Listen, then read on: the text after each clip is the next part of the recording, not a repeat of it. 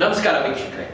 ಇವತ್ತಿನ ಕ್ಲಾಸ್ನಲ್ಲಿ ನಾನು ನಿಮಗೆ ಸ್ಟೈಲ್ ಮುಖ್ಯನ ಸ್ಕಿಲ್ ಮುಖ್ಯನ ಅದ್ರ ಬಗ್ಗೆ ಮಾತಾಡ್ತೀನಿ. ಇಂಗ್ಲಿಷ್ನಲ್ಲಿ ನಿಮಗೆ ತೊಂದರೆ ಆಗ್ತಿರೋದು ಏನಕ್ಕೆ? ಯಾಕೆ ಅಂದ್ರೆ ನಿಮಗೆ ಬೇರೆಯವ್ರು ಮಾತಾಡಿದಾಗ ಅರ್ಥ ಆಗುತ್ತೆ, ಆದರೆ ಉತ್ತರ ಕೊಡಬೇಕಾದ್ರೆ ನಿಮಗೆ ಕಷ್ಟ ಅಂತ ಅನ್ನಿಸ್ತಾ ಇದೆ. Very simple because of lack of atmosphere lack of comfort ನಿಮಗೆ ಅಟ್ಮಾಸ್ಫಿಯರ್ ಬೇಕು ಕಂಫರ್ಟ್ ಬೇಕು. ಬೇರೆಯವ್ರು ಮಾತಾಡಿದಾಗ ನಿಮಗೆ ಅರ್ಥ ಆದ್ರೂ ಉತ್ತರ ಕೊಡಬೇಕಾದ್ರೆ ಮಾತ್ರ ನಿಮಗೆ ತೊಂದರೆ ಆಗ್ತಿರೋದು. ಈ ಕಾರಣದಿಂದ ಐ ಡೋಂಟ್ ನೋ ಇಂಗ್ಲಿಷ್ ಅಂತ ಹೇಳಬೇಡಿ. You do know English you can understand when somebody talks you know how to read and write ಇಲ್ಲಾಂದ್ರೆ you can manage most important you make short simple sentences in your mother tongue ಹಾಗೂ things that are concern with your life ನಿಮ್ಮ ಜೀವನದ ಬಗ್ಗೆ ನಿಮ್ಗೆ ಗೊತ್ತಿರೋ ವಿಷಯಗಳನ್ನ ಒಳ್ಳೆ ರೀತಿ ಇಂಗ್ಲಿಷ್ನಲ್ಲಿ able to talk and in your mother tongue you use a lot of English words ನೀವು ಕನ್ನಡ ಮಾತಾಡಿದಾಗ ಅಥವಾ ಹಿಂದಿ, ತಮಿಳ್, ತೆಲುಗು ಮಾತಾಡಿದಾಗ ಬರೀ ಇಂಗ್ಲಿಷ್ ಪದಗಳನ್ನೇ ಉಪಯೋಗಿಸ್ತಾ ಇರ್ತೀರಾ? ರೈಟ್ ಸೊ ನೀವು ಮಾಡಬೇಕಾಗಿರೋ ಕೆಲಸ ಏನು? You have to start building an atmosphere of English so atmosphere ಬೇಕಾದಾಗ ಸ್ಟೈಲ್ ಅಥವಾ ಸ್ಕಿಲ್ ಯಾವುದ್ರ ಮೇಲೆ ಫೋಕಸ್ ಮಾಡ್ತೀರಾ? What to talk or how to talk ನಾನು ಫಸ್ಟ್ ಹೇಳೋದು ದಯವಿಟ್ಟು ಅರ್ಥ ಮಾಡ್ಕೊಳ್ಳಿ. You have to start with skill substance safety then style hand writing ತೋರಿಸ್ಕೊಡ್ತೀವಿ. Hand writing ತೋರಿಸ್ಕೊಟ್ಟಾಗ ಫಸ್ಟ್ ನೀವು ಸ್ಟ್ರಕ್ಚರ್ ಆಫ್ ದ ಲೆಟರ್ ಅರ್ಥ ಮಾಡ್ಕೊಳ್ಳಿ. ಪಾಯಿಂಟ್ಸ್ ಕನೆಕ್ಟ್ ಮಾಡಿ. ಎ ಬಿ ಸಿ ಡಿ ಪಾಯಿಂಟ್ಸ್ನ ಕನೆಕ್ಟ್ ಮಾಡಿ. ನೆಕ್ಸ್ಟ್ ಸೈಜ್ ಕರೆಸ್ಪಾಂಡಿಂಗ್ ಇರಬೇಕು. Maintain the same size next shape ಮೇಲೆ focus ಮಾಡಿ. ಎಸ್ನ ಯಾವಾಗಲೂ ಹಿಂಗೆ ಬರೀಬೇಕು. ಅದಾದ್ಮೇಲೆ then you focus on style stylish ಆಗಿ ಎಸ್ ಬರೀ ಗೊತ್ತಾಗ್ತಾ ಇದೆಯಾ? ಅದೇ ರೀತಿ ಒಂದು ಗಾಡಿನ ಓಡಿಸ್ಬೇಕು ಅಂತೀರಾ? ಹೊಸ ಗಾಡಿನ ನೀವು ಓಡಿಸ್ಬೇಕು ಅಂತೀರಾ? ಅವಾಗ ನೀವೇನ್ ಮಾಡ್ತೀರಾ? First you strengthen your skill elements skill ನೋಡ್ತೀರಾ? ಬ್ರೇಕ್ ಆಕ್ಸಿಲರೇಟರ್ ಕ್ಲಚ್ ಎಲ್ಲದನ್ನು ಪಕ್ಕ ಅರ್ಥ ಮಾಡ್ಕೊಳ್ತೀರಾ? Play of the clutch three mm M play ಇರುತ್ತೆ. ಅದನ್ನ ಅರ್ಥ ಮಾಡ್ಕೊಳ್ತೀರಾ? ಅದಾದ್ಮೇಲೆ then you start understanding the centre of gravity of the vehicle ನೀವು ಆ ವೆಹಿಕಲ್ನ ಎಷ್ಟು ಬೆಂಡ್ ಮಾಡ್ಬೋದು, ಎಷ್ಟು ಬೆಂಡ್ ಮಾಡಿದ್ರೆ ಬೀಳಲ್ಲ. ಫಿಫ್ಟೀನ್ ಡಿಗ್ರೀಸ್ ಆ್ಯಂಗಲ್ ಅಲ್ಲಿ ಬೀಳಲ್ಲ ಟ್ವೆಂಟಿ ಡಿಗ್ರಿ ಆ್ಯಂಗಲ್ ಅಲ್ಲಿ ಬೀಳಲ್ಲ. ಅದನ್ನು ಅರ್ಥ ಮಾಡ್ಕೊಳ್ತೀರಾ? ದೆನ್ ಸ್ಕಿಲ್ನ ಅರ್ಥ ಮಾಡ್ಕೊಂಡಾದ್ಮೇಲೆ ಸೇಫ್ಟಿ ಆಸ್ಪೆಕ್ಟ್ಸ್ನ ಅರ್ಥ ಮಾಡ್ಕೊಳ್ತೀರಾ?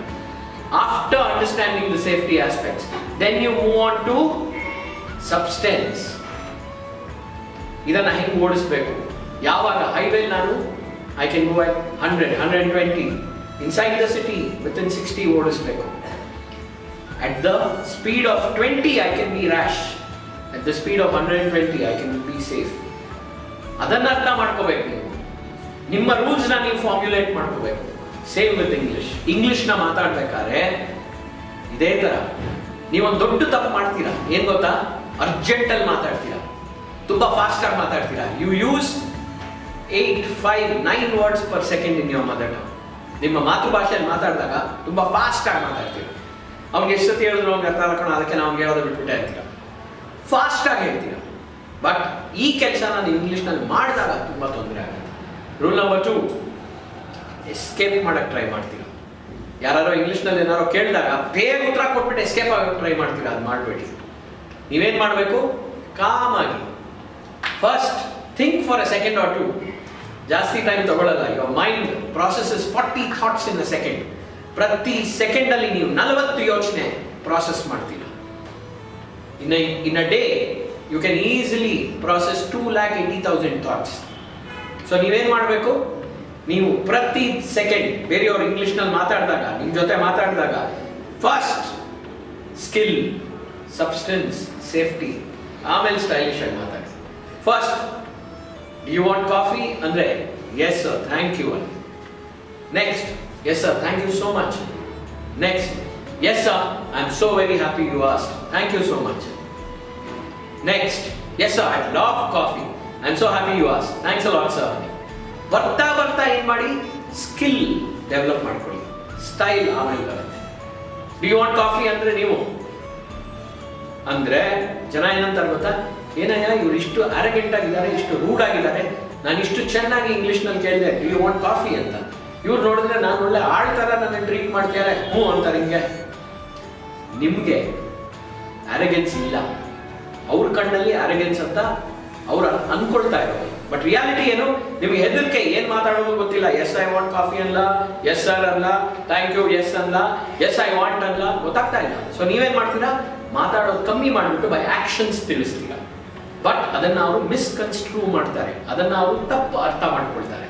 So first skill do you want coffee ತಲೆ ಅಲ್ಲಾಡಿಸ್ಬೇಡಿ. Yes sir thank you so much sir yes sir first ಅದನ್ನು ಕಲ್ತ್ಕೊಳ್ಳಿ. ಆಮೇಲೆ ಬರ್ತಾ ಬರ್ತಾ ಯು ಕ್ಯಾನ್ ಬಿಕಮ್ ಬೆಟರ್ ಇದೊಂದು ತುಂಬ ಸಿಂಪಲ್ ಉದಾಹರಣೆ ನಾನು ನಿಮ್ಗೆ ಕೊಡ್ತಾ ಇರೋದು. ಆದರೆ ಈ ಉದಾಹರಣೆಯಿಂದ ನೀವು ಅರ್ಥ ಮಾಡ್ಕೋಬೇಕಾಗಿರೋದೇನು? ದೊಡ್ಡ ದೊಡ್ಡ ವಿಷಯದಲ್ಲಿ ಕೂಡ you have to exhibit similar attitude understand skill style ಆಮೇಲೆ ಬರುತ್ತೆ. ಫಸ್ಟ್ ಸ್ಕಿಲ್ ಆಮೇಲೆ ಸೇಫ್ಟಿ ಸಬ್ಸ್ಟೆನ್ಸ್ ಆಮೇಲೆ ಸ್ಟೈಲ್ ಸೊ ಇವತ್ತು ದಯವಿಟ್ಟು ಅರ್ಥ ಮಾಡ್ಕೊಳ್ಳಿ. ಗೊತ್ತಿರೋ ಇಂಗ್ಲಿಷ್ನ ಫಸ್ಟ್ ನೀವು ವಾತಾವರಣ ಬೆಳೆಸ್ಕೊಂಡು ಜಾಸ್ತಿ ಮಾಡ್ಕೊಳ್ಳಿ. ನೀವು ಇನ್ನೂ ಇಂಗ್ಲಿಷ್ನ ಕಲಿಯೋಕ್ಕೆ ಪ್ರಯತ್ನ ಪಡಿ. Read a lot write a lot ನೀವು ಜಿಮ್ಗೆ ಹೋದಾಗ ನಾನು ಬರೀ ಆರ್ಮ್ಸ್ ದಪ್ಪ ಮಾಡ್ಕೋಬೇಕು ಅಂತ ನೀವು ಹೇಳೋಂಗಿಲ್ಲ ನೀವೇನು ಮಾಡಬೇಕು? ಸರ್, ನನಗೆ ಒಳ್ಳೆ ಮಜಲ್ ಬೇಕು ಅಂದಾಗ ಅವ್ರು ಏನಂತಾರೆ? ನೀವು ಜಿಮ್ಗೆ ಹೋದಾಗ, ಸರ್, ನಾನು ಹೊಟ್ಟೆ ಕರಗಿಸ್ಬೇಕು. ಅಂದ್ರೆ ಅವ್ರು ಟ್ವೆಂಟಿ ಫೋರ್ ಅವರ್ಸ್ ಬರೀ ಐಸೋಲೇಷನ್ ಆ್ಯಬ್ ಎಕ್ಸಸೈಸಸ್ ಕೊಡಲ್ಲ. ಅವ್ರೇನು ಮಾಡ್ತಾರೆ? ಅವ್ರು ನಿಮಗೆ first they make your posture better ಕರೆಕ್ಟಾಗಿ ನಿಲ್ಲಿಸ್ತಾರೆ. ಕರೆಕ್ಟಾಗಿ ನೀವು ನಿಂತ್ಕೊಳ್ಳಿ ಅಂತ ನಿಮ್ಮ ಪಾಸ್ಚರ್ ಕರೆಕ್ಟ್ ಮಾಡ್ತಾರೆ. ಅದಾದ್ಮೇಲೆ ನಿಮಗೆ they add muscle mass hand shoulders legs muscle ಜಾಸ್ತಿ ಮಾಡ್ತಾರೆ. ಅವಾಗ ನಿಮ್ಮ ಮೆಟಬಾಲಿಸಮ್ ಜಾಸ್ತಿ ಆಗುತ್ತೆ. ನೆಕ್ಸ್ಟ್ ಏನ್ ಮಾಡ್ತಾರೆ? ಆಮೇಲೆ ಕಾರ್ಡಿಯೋ ಮಾಡಿಸ್ತಾರೆ. ಚೆನ್ನಾಗಿ ಓಡಿಸ್ತಾರೆ. ಕರೆಕ್ಟ್ ಕಾರ್ಡಿಯೋ ಮಾಡಿಸ್ಬಿಟ್ಟು ಕೊನೆಗೆ ನಿಮಗೆ ಐಸೋಲೇಷನ್ ಆ್ಯಬ್ ಎಕ್ಸಸೈಸಸ್ ಮಾಡ್ತಾರೆ. ಹಾ, ಈಗ ಮಾಡಿ ಅಂತ ಹೇಳ್ಬಿಟ್ಟು ನಿಮ್ಮ ಹೊಟ್ಟೆಗೆ ಸ್ಪೆಸಿಫಿಕ್ ಆಗಿ ಎಕ್ಸಸೈಸ್ ಮಾಡಿಸ್ತಾರೆ. ಅವಾಗ ಬೆನಿಫಿಟ್ ಏನು? ನೀವು ಓವರ್ ಆಲ್ ಬೇಕು ನಿಮಗೆ ಹೆಲ್ಪ್ ಆಗೋ ಹಂಗೆ ಆಗತ್ತೆ. ಬೆನಿಫಿಟ್ ಏನು? ಓವರ್ ಆಲ್ ಅವಾಗ ನಿಮಗೆ ಈಸಿಯಾಗಿ ರೆಡ್ಯೂಸ್ ಮಾಡ್ಕೊಳ್ಳೋಕ್ಕೆ ಆಗುತ್ತೆ. ಕರೆಕ್ಟ್ ಅದೇ ಥರ English I want to talk better English ಅಂತ ನನ್ನ ಹತ್ರ ಬರ್ತಿರಲ್ಲ I request you first read a lot write a lot natural ಆಗಿ ನಿಮ್ಮ ಸ್ಪೀಚ್ ಕೂಡ ಇಂಪ್ರೂವ್ ಆಗಿ ಆಗುತ್ತೆ. Increase your atmosphere of English in comfort ನೀವು ಯಾಕೆ ಇಂಗ್ಲಿಷ್ನ ಮಾತಾಡೋಕ್ಕಾಗ್ತಿಲ್ಲ? ಬಿಕಾಸ್ ಇಂಗ್ಲಿಷ್ ಮೀಡಿಯಮಲ್ಲಿ ಓದಿದ್ರು ಔಟ್ಸೈಡ್ ದ ಕ್ಲಾಸ್ ರೂಮ್ ಒಳ್ಳೆ ರೀತಿಯಲ್ಲಿ ನೀವು ಫ್ರೆಂಡ್ಸ್ ಜೊತೆಗೆ ಕ್ಯಾಶುವಲ್ ಆಗಿ ಇಂಗ್ಲಿಷ್ ಮಾತಾಡಿಲ್ಲ. So first develop that habit casual ಆಗಿ ಇಂಗ್ಲೀಷ್ ಮಾತಾಡಿ ಗೊತ್ತಿರೋ English hi did you have breakfast you ate what did you eat ಅಂತ ಫಸ್ಟ್ ಆ ಥರ ಮಾತಾಡಕ್ಕೆ ಶುರು ಮಾಡ್ಕೊಳ್ಳಿ ನಮ್ಮ ಕ್ಲಾಸಿಗೆ ಬರೋರಿಗೆ ಎಲ್ಲರಿಗೂ ನಾನು ಅದೇ ಹೇಳೋದು. ಫಸ್ಟ್ ಸ್ಟಾರ್ಟ್ ಟಾಕಿಂಗ್ ವೆಲ್ ಅದಾದ್ಮೇಲೆ ಯು ವಿಲ್ ಡೆಫಿನೆಟ್ಲಿ ಇಂಪ್ರೂವ್ ಗೊತ್ತಾಯ್ತಾ? ನನ್ನ ನೆಕ್ಸ್ಟ್ ಕ್ಲಾಸ್ನಲ್ಲಿ ನಾನು ನಿಮಗೆ ಒಂದು ಬಹಳ ಇಂಪಾರ್ಟೆಂಟ್ ವಿಷಯ ತೋರಿಸ್ಕೊಡ್ತೀನಿ. ಇಂಗ್ಲೀಷ್ ಗೊತ್ತಿರೋರ್ಗೂ ಕರೆಕ್ಟಾಗಿ ಗೊತ್ತಿಲ್ಲದೆ ಇರೋ ವಿಷಯ. ಏನಂದ್ರೆ ಒಂದು ಪ್ರಶ್ನೆ ಇವಾಗ ಕೇಳ್ತೀನಿ. ಆನ್ಸರ್ನ ನೀವು ತುಂಬಾ ಕ್ಯಾಶುವಲ್ ಆಗಿ ಇಷ್ಟೇ ಸರ್ ನನಗೆ ಗೊತ್ತು, ಚಿಕ್ಕ ವಯಸ್ಸಿಂದ ಗೊತ್ತು ಅಂತ ಅನ್ಕೊಂಡಿರ್ತೀರಾ? ಬಟ್ ರಿಯಾಲಿಟಿ ಏನು? What your thinking is wrong so ಯೋಚನೆ ಮಾಡಿಬಿಟ್ಟು ನನಗೆ ಆನ್ಸರ್ ಎಸ್ ಎಂ ಎಸ್ ಮಾಡಿ. My question is very simple many alphabets ಅದೇ ಇನ್ ಇಂಗ್ಲಿಷ್ ಇಂಗ್ಲಿಷ್ ಭಾಷೆಯಲ್ಲಿ ಎಷ್ಟು ಆಲ್ಫಬೆಟ್ಸ್ ಇದೆ? ಯೋಚನೆ ಮಾಡಿ. ಆನ್ಸರ್ ಆಗಲೇ ನಿಮ್ಗೆ ಗೊತ್ತಾಗ್ಬಿಟ್ಟಿರುತ್ತೆ. ಅಯ್ಯೋ, ಇಷ್ಟೇನಾ ಸರ್ ನಿಮ್ಮ ಆನ್ಸರ್ ತಪ್ಪು. ನೀವು ಇವಾಗ ಯೋಚನೆ ಮಾಡಿದ್ರಲ್ಲ, ಟ್ವೆನ್ ಅಂತ ಅದು ತಪ್ಪು.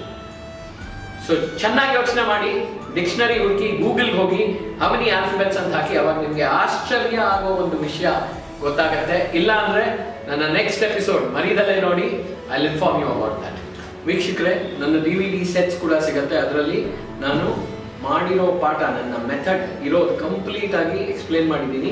ಇದನ್ನ ಪಡಿಬೇಕು ಅಂದ್ರೆ ದಯವಿಟ್ಟು ಸಂಪರ್ಕಿಸಿ ಇಲ್ಲ ಅಂದ್ರೆ W W W dot Banavasi dot com ವೆಬ್ಸೈಟ್ಗೂ ಹೋಗ್ಬಿಟ್ಟು ಚೆಕ್ ಮಾಡ್ಬೋದು. ಇದರಲ್ಲಿ ನಿಮಗೆ ಮೂರು ಡಿ ವಿ ಡಿ ಸಿಗತ್ತೆ. ಮೂರು D V D complete approximately twelve G B ಪಾಠ ಇದೆ. ಇದರಲ್ಲಿ ತೊಂಬತ್ತು ವಿಡಿಯೋಕ್ಕಿಂತ ಜಾಸ್ತಿ okay all the very till the next class have a nice time